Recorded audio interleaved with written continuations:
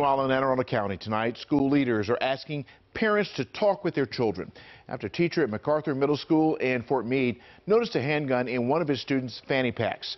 School principal Eugene Whiting confirmed the incident in a letter sent to parents this evening. According to that letter, school officials found not just a handgun, but also a magazine loaded with bullets and separate additional ammunition. Principal Whiting did not specify how the student would be disciplined, but confirmed that the school would, quote, take swift and appropriate action. All right, let's get to